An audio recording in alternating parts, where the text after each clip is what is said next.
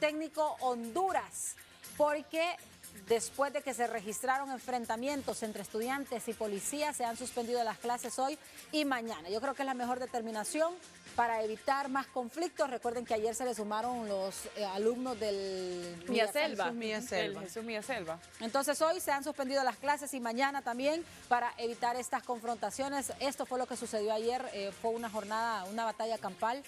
Lamentablemente, eh, bueno, estos enfrentamientos siguen entre efectivos de seguridad. Han criticado mucho al director del Instituto Técnico Honduras porque él ha estado dando fuertes declaraciones en donde ha dicho que miembros de la seguridad podrían estar facilitándole las bombas lacrimógenas a los estudiantes.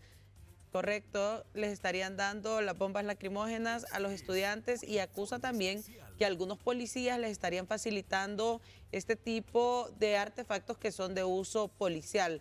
Así que ha hecho una valiente denuncia el licenciado Nelson Calix, titular del Instituto Técnico Honduras. No las venden en la pulpería. No, no, no, no. No las Solo las tienen en- los policías. Correcto. Solo las tienen los policías.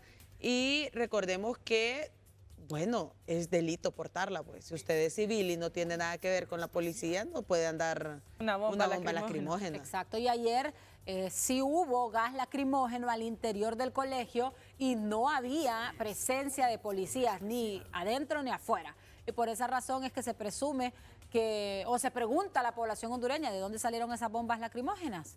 ¿De dónde? Y por- ah, de ahí viene la denuncia. Y que fíjese que esto también pues llena de tensión a los padres de familia de estos estudiantes. Ayer precisamente les comento, yo iba pasando por este sector del Instituto INTAE en la calle principal de la colonia Kennedy y pude observar cómo padres de familia sacaban sus hijos y se los llevaban corriendo al ver que llegaban alumnos del Instituto Técnico Honduras y del Mía Selva a traer a los del Instituto INTAE. Y terrible. Bueno, nosotros mostramos en horas de la tarde una madre que llegó a traer a su hijo. Sí, mostrábamos preocupados. con Rina. No, el niño estaba todo dar lanzando piedras. Y lo llevó a sacar. La madre llegó a sacarlo y se lo llevó. No, y así no me sé tocó a mí si lo habrá observar. castigado, no sé, pero Yo lo pude observar llegó. ayer eh, a eso de las, eh, ¿qué? Una y media de la tarde, cuando los padres de familia, varios padres de familia, llegaron a sacar a sus hijos del instituto y miraban que venía la movilización de estudiantes por ese sector de la colonia Kennedy del Boulevard Centroamérica y les tocó salir corriendo mire, por miedo también a que les sucediera algo a sus hijos. Ojalá que estos jóvenes, alguno de ellos, deciden en un futuro ser policía, porque la joven que está ahí, de camisa negra, Cecia, Carolina, eh, se ve que tiene carácter.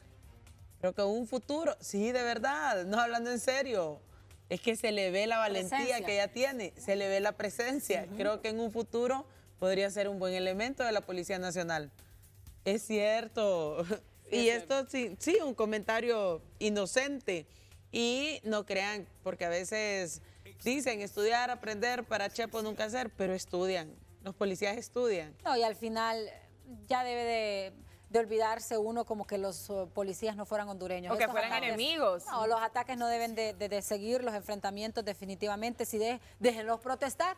¿Sabe? Todo el tiempo que ellos quieran estar Sí. ahí para evitar enfrentamientos y los ciudadanos que transitan por el sector tomar rutas alternas. ¿Sabe cómo es eso? Como aquel que dice yo soy ateo y cuando tiene un gran problema, Ay, ay, Dios Dios, mío. mío, ayúdame, ay Dios mío, por favor, socórreme, ay Dios mío, cúbreme con tu sangre.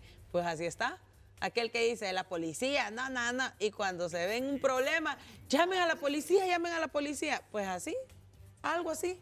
Entonces, eh, somos hermanos todos. No, y la Somos policía al final cumple con su trabajo. O sea, estamos en contra de la represión, pero al final la policía hace su trabajo. Por eso es que se deben de evitar los confrontamientos. Suspendidas las clases hoy y mañana en el Instituto Técnico Honduras, que en los últimos días ha sido el punto de encuentro para una batalla campal.